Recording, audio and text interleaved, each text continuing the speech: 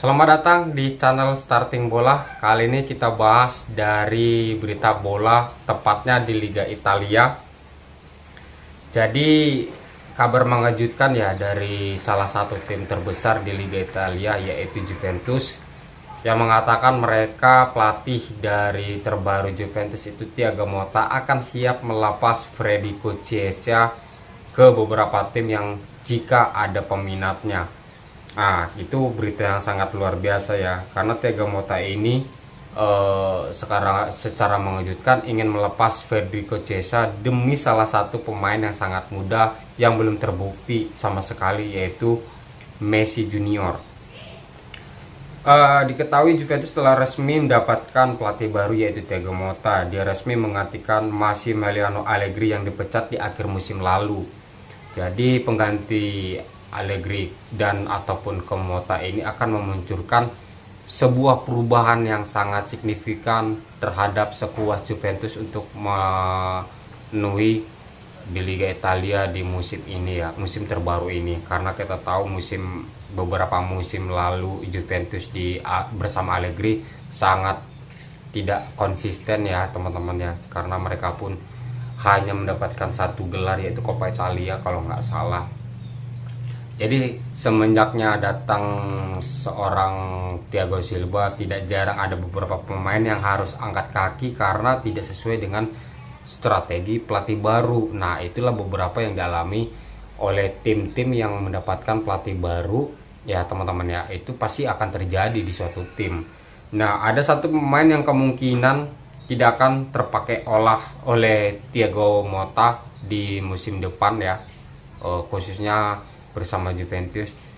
Yang mengejutkan yaitu Thiago Motta itu menyebutkan sosok nama Federico Chiesa kalau Chiesa ini tidak masuk dalam sebuah strategi uh, Thiago Motta bersama Juventus untuk di musim depan. Federico Chiesa pun sebenarnya sang pemain yang merupakan andalan Allegri bersama Juventus di beberapa musim sebelumnya ya akan tetapi keputusan Sinyonya tua merekrut Mota yang memiliki strategi permainan berbeda bisa membuat nasib Cesa ini tidak menentu.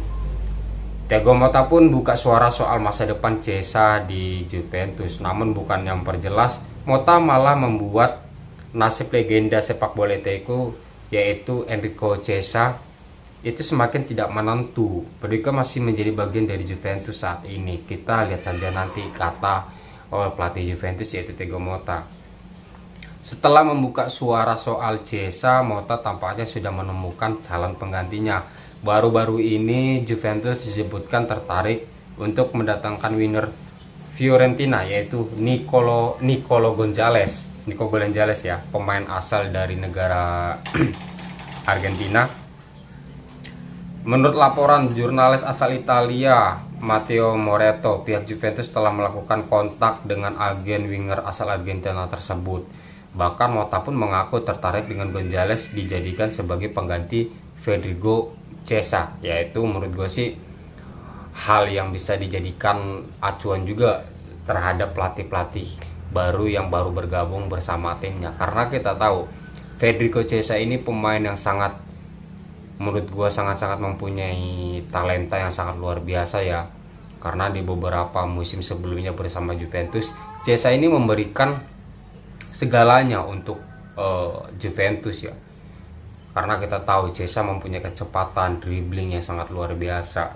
Tapi kalau keputusan dari seorang Thiago Motta untuk bisa melepas uh, Cesa yang menurut gue sih sangat disayangkan ya karena Juventus pun sebenarnya masih membutuhkan sosok pemain seperti Federico Chiesa yang mempunyai kecepatan, yang berani duel, yang berani satu lawan satu. Tapi sangat disayangkan teman-teman kalau seandainya benar terjadi ya Federico Chiesa uh, itu dilepas oleh Juventus.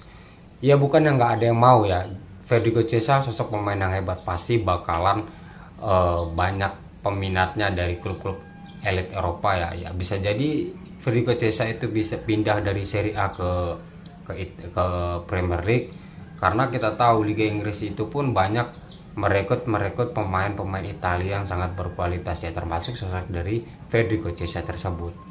Nah itulah teman-teman berita terbaru dari hari ini khususnya dari Liga Italia di mana Federico Chiesa siap dilepaskan untuk di musim ke depan jika ada peminatnya dari klub top top Eropa lainnya. Oke teman-teman sampai jumpa lagi di video selanjutnya.